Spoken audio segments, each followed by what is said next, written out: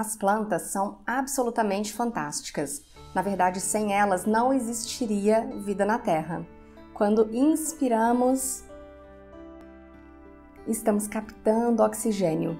E sem oxigênio, não conseguiríamos produzir a quantidade de energia que necessitamos para pensar, para filtrar nos rins as toxinas e eliminar essas toxinas, para que o fígado também faça os seus processos de desintoxicação, não conseguiríamos produzir hormônios, nada disso. E as plantas são realmente muito especiais. Você imagina, quando você está com frio, você se levanta, vai até o seu armário e pega um casaco. Quando você está com calor, você tira sua roupa e toma um banho.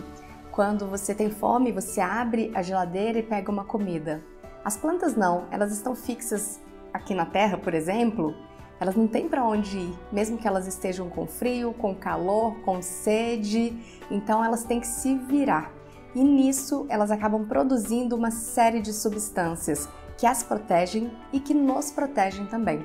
Por exemplo, nós somos dependentes de vitamina C, mas não produzimos vitamina C, que vem das plantas. Nós pegamos a vitamina C de frutas como limão, laranja, tangerina, do pimentão, do tomate. Nós não produzimos carotenoides, que são antioxidantes, mas nós adquirimos esse carotenoide quando nós comemos manga, mamão, cenoura e outros alimentos amarelados ou alaranjados. Então as plantas, elas conseguem produzir um monte de substâncias que são ultra benéficas para nossa saúde. Por exemplo, quando nós estamos doentes, nós vamos ao médico e ele pode nos dar um remédio.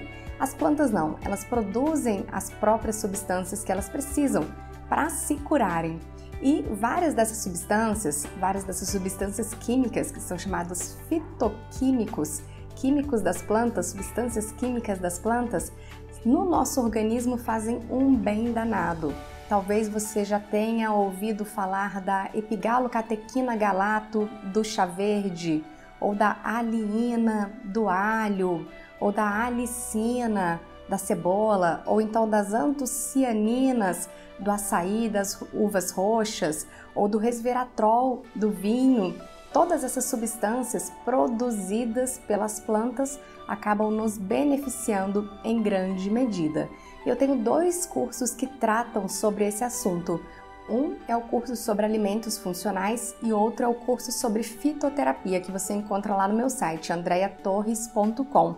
E lá no site você encontra também meu blog, onde eu semanalmente trago dicas de saúde para você. Um grande abraço!